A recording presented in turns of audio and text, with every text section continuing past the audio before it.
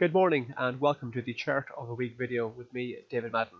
Today's date is Friday the 20th of December 2019 and the time has just gone 9.14 GMT. And this week's chart of the week is the Australian dollar versus the US dollar or Aussie dollar as is referred to in the markets.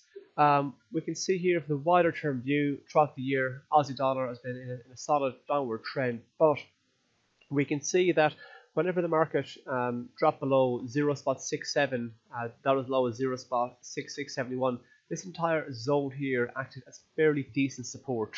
Um, the market really really kind of struggled to kind of make a sizable break below this area, and if this area does turn out to be a fairly fairly decent area of support, and the market is actually kind of in the process of turning around, notice how we have been broadly been pushing higher since early October. Now, granted, highs that we saw in early November and um, mid mid December are in around the same area, so we kind of failed to kind of um, break higher highs, but we have seen uh, higher lows, and the market is pushing up higher along here. So we could be at a, a very important, potentially an important point on the Aussie dollar. It could be the point where the market's finally turning around.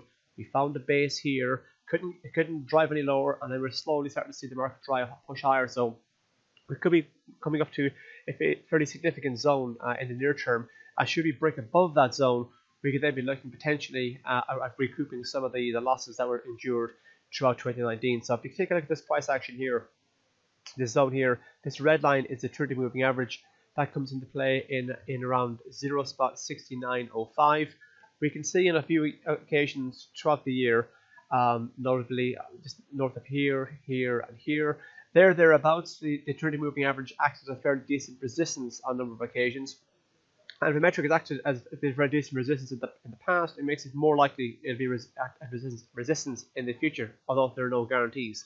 It is worth obviously remembering that uh, in the middle of the month, the, uh, the, the, the market did manage to pierce above that metric, but didn't but actually closed well below that line again. So, and if you draw a line, kind of broadly speaking, on the highs of early December, on the highs of early of November, we get this zone here, which comes into play in around 0 spot 6918 there thereabouts. So that entire kind of area uh, of around kind of say between 0 spot 6915 and 0 spot 6929 um, there thereabouts that area could potentially the kind of 30 35 5 um 30 kind of pip, uh, pip, pip range could be a fairly significant area. So if we do have a sizable break above that that could that could put us on course for a fairly, a fairly decent move to the upside.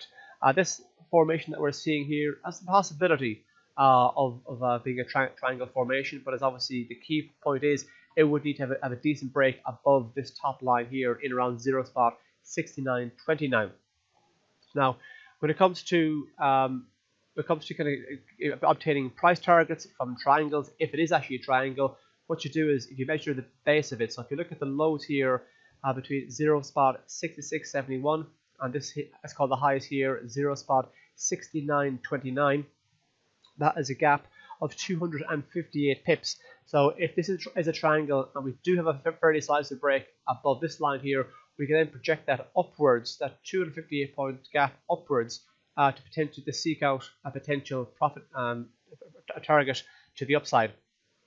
Uh, and uh, if that is the case, we could be looking at target, targeting 71.87. Uh, should be actually have a fairly decent move to the upside. So that makes obviously you know a, target potentially months down the line. Seeing as it's taken obviously months for this kind of uh, bottom bottom to form, and it's been taking months for it, it's to push higher. So it could be you know months from now, uh, three months, six months from now, we could be looking up, heading up towards the kind of 71. Uh, 87 regions there thereabouts. Obviously, in the near term, the kind of big psychological number is, is 70 will that be passed first and foremost. Now, if you are going to be trading the Australian dollar, US dollar, it is worth keeping an eye what's going on on the dollar index as a whole. So this here is a chart of the dollar index throughout 2019.